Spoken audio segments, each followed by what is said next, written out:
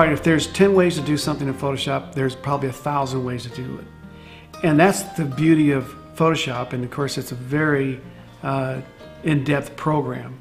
And I'm still learning it. And I've been doing, probably working in Photoshop for 15 years. I think the most important thing that we all have to understand as we move forward in whether it's the capture side or the post side is that we are all different in the way we like the final to, to look like. We, we're all different in the way we view the world.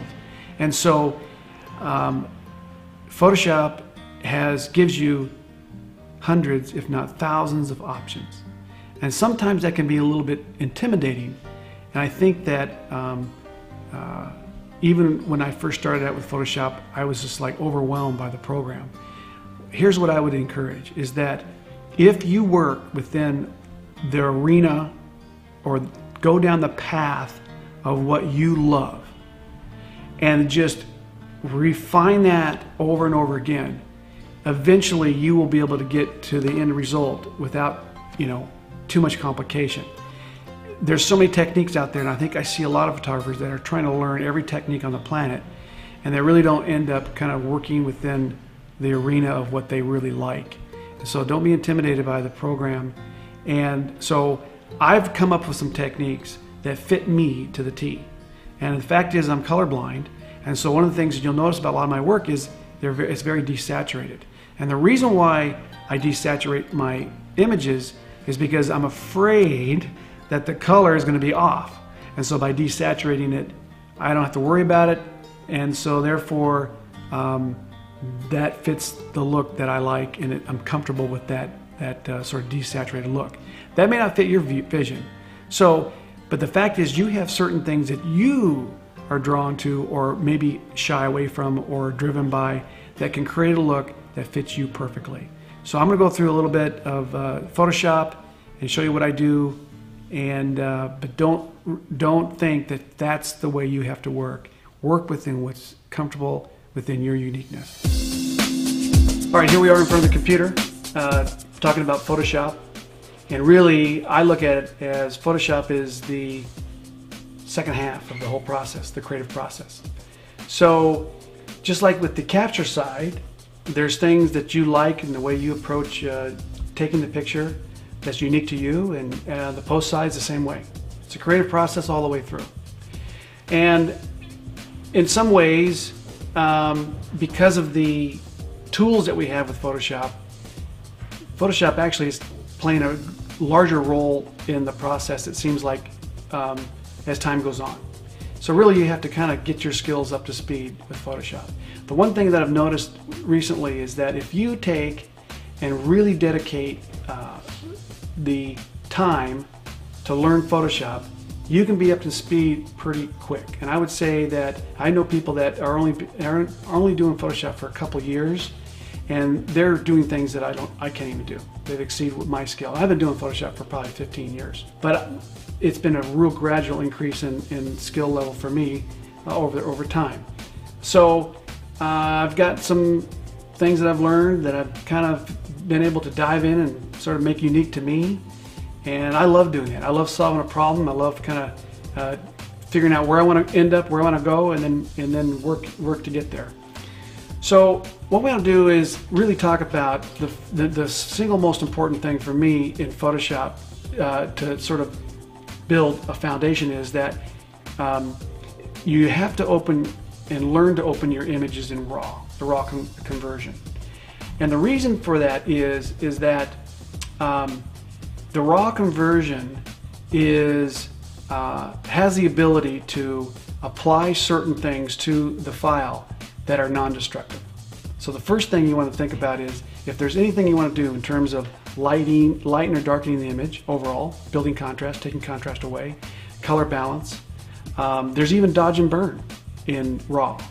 And if you can do that in RAW, then you are better off in uh, later because if you do it in Photoshop, there's going to be some issues with destructive, destructive things going on. And here's how I look at this. If you had um, a five gallon bucket of marbles, uh, and that represented your uh, bit depth, okay? And cameras uh, today, for the most part, capture in 14-bit. Um, when I do HDR, and I run three images or five images and build uh, into one, I can actually produce a true 16-bit image. So if I take that 16-bit image and I um, open it up in Photoshop, I have a true 16-bit, say, representation of marbles. Um, and every time I go and do something in Photoshop, it's like taking a scoop of marbles and throwing it out.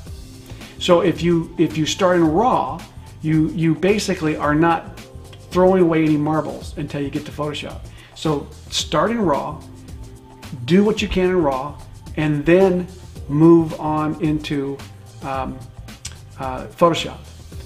Now, the other thing that I learned a few years ago is to take my image and I can open it as a smart object, which allows me to still be tied to RAW. So let's say I open it up, I look at it, and then I want to uh, apply, like what I do is I take a black and white version of that and, and blend the two together, and I go, hmm, that's not exactly what I want.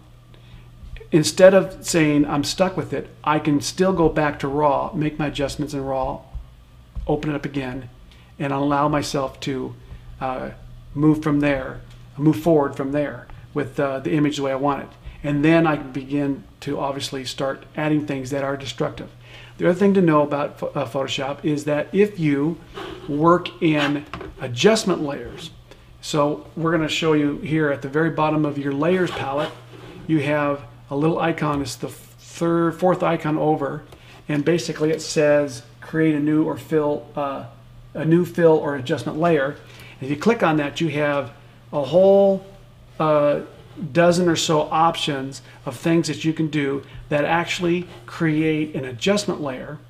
And that adjustment layer is um, basically non-destructive.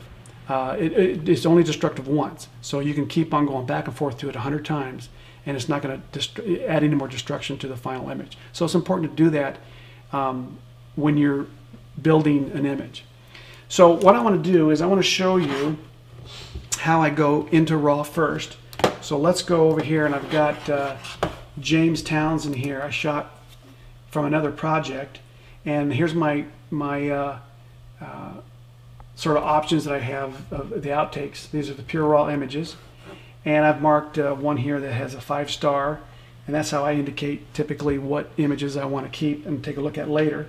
But let's open that and the, the easiest way to do that is I can double click on the image but the little shortcut that gets you straight to RAW is Command R and that's going to get me into RAW here. So here's James in RAW and I want to show you how this smart object thing works. For example, the first thing I do is I take my fill light a little bit and move it into the direction that sort of lightens the whole overall image up a little bit. And then I'll build my contrast down, or take my contrast down. And then I can go up here into um, a, uh, a burn or dodge brush and I can maybe darken his face down a little bit if I overlit him too much. In this case, I don't think I really did, but I just want to show you that. And then you have a little pin here that tells you this is what you did. And that, which is really cool, is you're not stuck with that uh, exposure adjustment. You can go darker or you can go lighter. So, any rate, we're just going to go down just a little bit on him here. So, um, to open up a object in Smart, you can either go into your uh, this little line down here that tells you um, it's the workflow options. You can say um, click open Photoshop, open in Photoshop as a smart object, and it'll do it for you every time. If you don't do that, so let's unclick that. The way I, and I did it for a long time is you actually hold the shift key down and you just say open uh, and it'll open as a smart object. So let's take a look here. So here's uh, James straight from raw. And you can see this little indication up here tells us that we're uh, still linked to raw. A new smart object via copy, and then I can blend it. There's, there's a lot of options here I can do. Reopen it back in raw, click on black and white, and I can do all sorts of fun things in here to the image to get the tones that I want. And so when I say okay, now I have uh, these two images still tied to raw, but have blended together. So that's kind of the beginning of where I start. So it's important to understand raw. It's important to understand adjustment layers, um, and really, I think once you get that, you're you're pretty good to go. So let's go back to. I'm going to go back to the image that we have already done of Jim Jim because or James. He goes by Jim Jim, his nickname, and you can see here the whole set of layers. We're going to unclick these one at a time down here of how I've built this image. Now it would take a long time to kind of show you the whole steps by step here to do this, but basically there's my my my uh, background straight from Photomatix, and I've brought it into RAW, pretty much opened it up. It's not real uh, impressive of a background. Uh, you can see the HDR has captured a little bit of the detail in the in the, in the uh, pure sunlight here, but that doesn't matter to me because I'm blowing it out. So now what I do is I add a black and white adjustment layer, hue saturation, a photo filter to warm it up. Here's my glow. Um, that's a kind of a glow, real, real center spot glow. Then I spread it out a little bit more. And here's some streaky kind of effects going on here. Uh, overall levels, drop it down a little bit. And then here's uh, James in the, in the picture. And this is again knocked out in Photoshop CS5. Uh, and then I've added uh, to him uh, a few adjustment layers to grid him up a little bit. Add some grain. I, I like to add grain because uh, it just gives a little bit sense that it still kind of has that film look.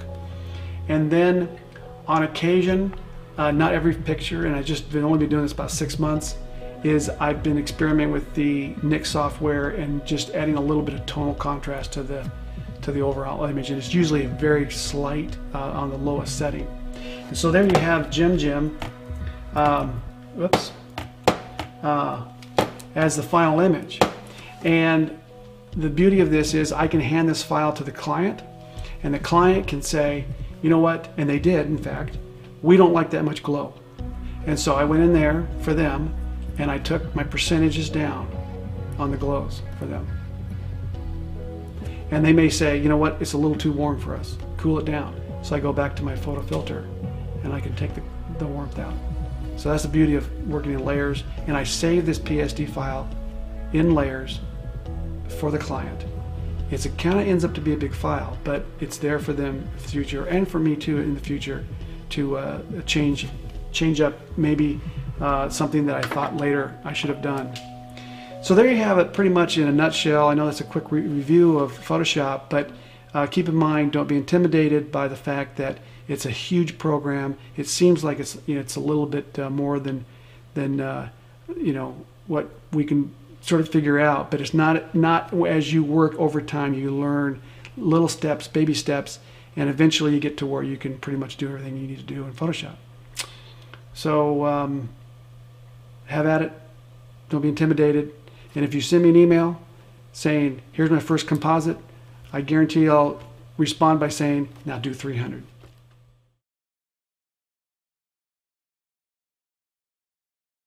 Special thanks to FJ Westcott for keeping this episode lit up. Like the music? Special thanks to Triple Scoop Music. Framed Network giveaways are brought to you by B&H. Head to giveaways.framednetwork.com for your chance to win. Find out more about the equipment used in this episode on FramedNetwork.com.